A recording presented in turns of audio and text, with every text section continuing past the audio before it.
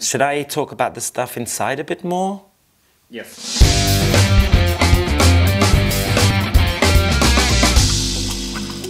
Okay. So I'm gonna put this here. I really, really, really hate opening my own Omnis. this is like secret time for me. a bunch of artists come through and work on Peter David's Hulk.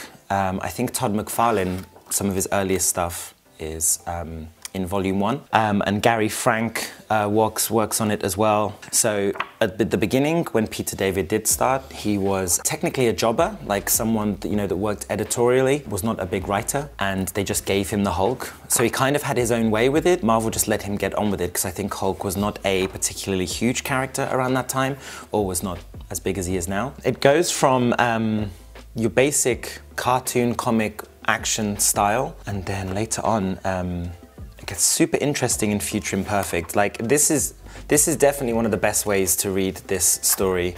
The art is amazing. It's George Perez, I believe. Correct me if I'm wrong. Um, and there's the Hulk fighting himself in the future. Love it. It's only two issues long, and it's one of the best Hulk storylines. And then you get here where it's got, got this fairy tale style. Like I was saying earlier, they really let him get away with anything.